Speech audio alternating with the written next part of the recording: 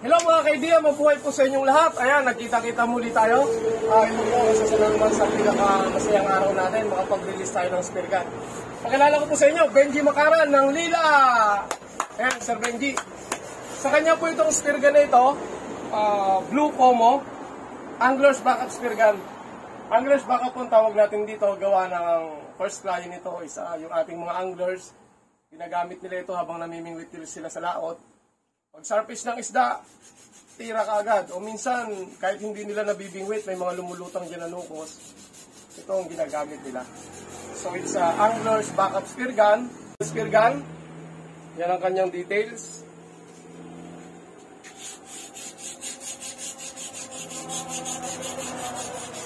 Made of solid resin and high-grade PVC. Yan, alam naman po natin na kung gaano katibay itong materials na ito. It's a guaranteed lifetime use. The body of this spear gun.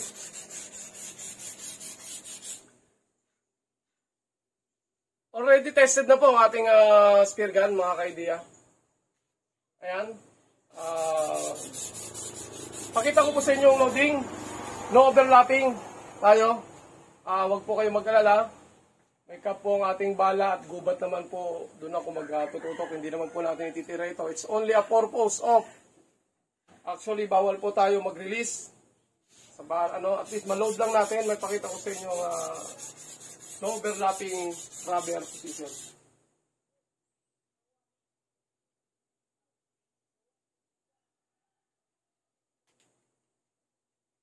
First load. Second load. Ayan po. No overlapping rubber formation.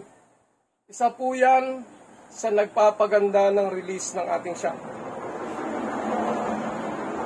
Sa overlapping po, dyan po minsan nagkukos kung kakainin yung tali ninyo. At isa yung dito sa atin. Kuka natin yung tali, kailangan hindi ito sumasabit sa rubber para hindi kakainin ng inyong tali. Ayan po mga idea. So, unload tayo ng rubber. Ayan po, Sir Benji Makaran, sa kanya po ito. Ngayon magtatanggal po tayo ng reel at uh, request ni Sir Benji. Kasi itong spear gun na ito, pag tinanggal mo yung reel, bawas ka ng isang rubber, pwede mo nang gamitin. Lapit po ang cam natin.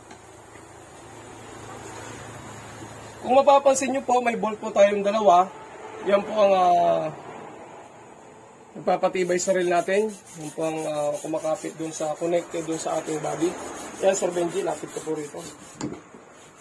Uh, Tagal tayo ng reel. Actually, pwede kahit yung open range dito, pwede nyo gamitin.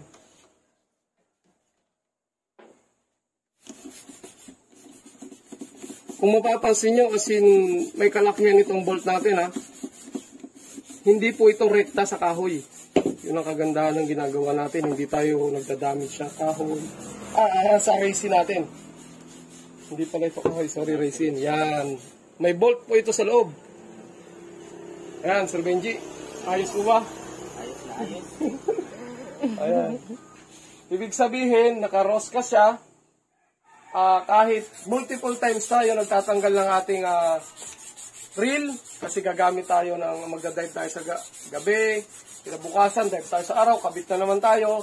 Hindi ko kayo mag-aalala na luluwag itong ating uh, daanan ng bolt kasi meron po itong uh, nuts doon sa loob. Ayan, check natin at ang kanyang uh, trigger. Pakita natin sa inyo ulit. Ah, ganun din kay Sir Benji. Gusto makita ni Sir Benji yung ating 8 uh, knot kung paano kinakabit.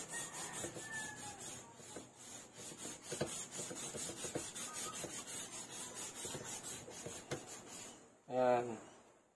Ayan, magbubuhol lang po tayo rito. Ayan, buhol natin ito. Ayan. Saka pwede na natin ipasok.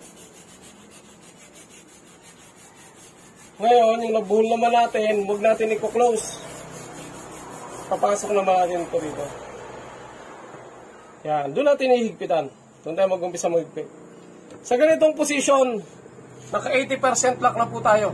Mahirap po ito tanggalin. Pero doon tayo syempre sa 100%. Lalak natin. Just to make sure, alam kong titira ito si Sir Benji ng tuna. Mga power fish. Oh, ayan, nakalak na yan siya. Ganon din dito. Actually, same lang din yung locking ng dulo nito. Check muna natin bago natin ibalik ang ating ah, reel.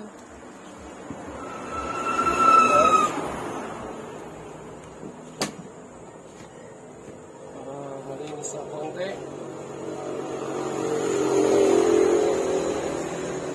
Yan, Sir Benji, natatandaan nyo ba?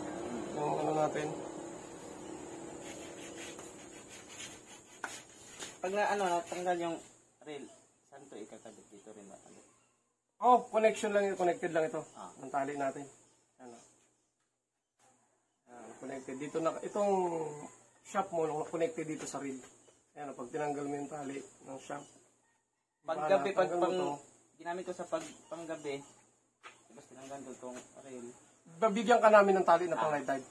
Yun ang freebies mo. Diba? Yun ang kagandahan sa Utopia. Nagbibigay tayong freebies.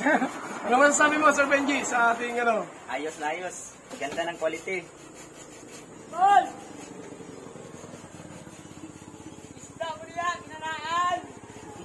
Oy, okay yan. Ano? Halika rito. Master, Master. Idoy. Ito si Master, ah, bebenta ng isda sa atin. Dito rin galing yung split niya. na ko, mga view, gabong ko. Master. Master ko to eh.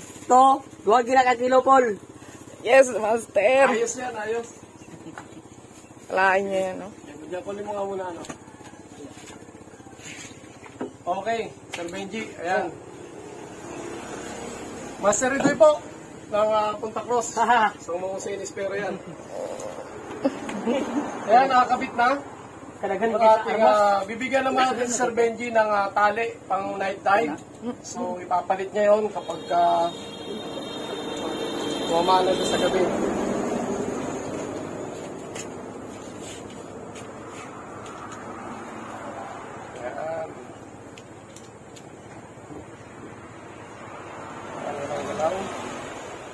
Okay. Ito Sir Benji, ang next natin, hilahin natin itong sagad. Tapos, roll tayo. Mag-roll. Saka natin ilalak ito. Nailalak ito. May lock siya. May lock yan. Pero soft lock lang ito. Para lang hindi hilahin yung makapag-rig ka ng maayos. Pagka titira ka na, ano mo, naka-rig ka na, pwede mo luwagan ito ng konti. Kapag nai-rig mo natin, papakita ko siya. Lock muna tayo. Rig natin.